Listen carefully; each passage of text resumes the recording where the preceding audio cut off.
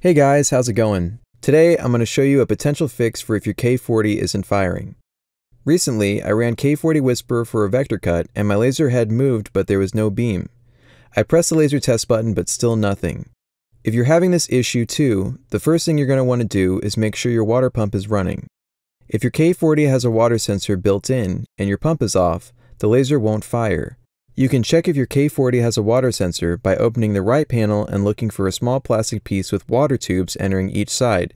It'll have a wire connecting to your power supply.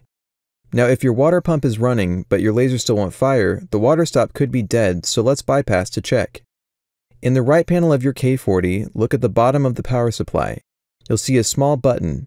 The laser test button will override the safety features like water stops built into your laser. It's a little hard to get to, so I suggest using something non-conductive like this marker and pressing the test button that way. Sure enough, my laser fired. In my case, and possibly yours, it is a failed water stop sensor that is preventing the laser from firing.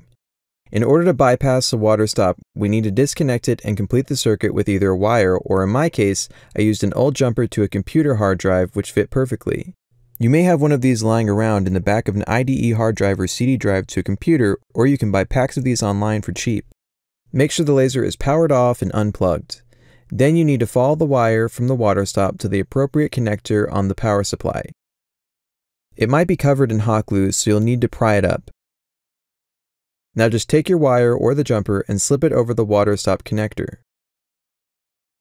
Now power up the laser and press the test button on the front panel and it's fixed. Now this may not be the case for every non-firing K40, but it's definitely worth checking out and can save you a lot of trouble. If you have any issues, feel free to leave a comment below. Subscribe if you'd like to see more K40 content, and I'll see you guys in the next video. Thanks for watching.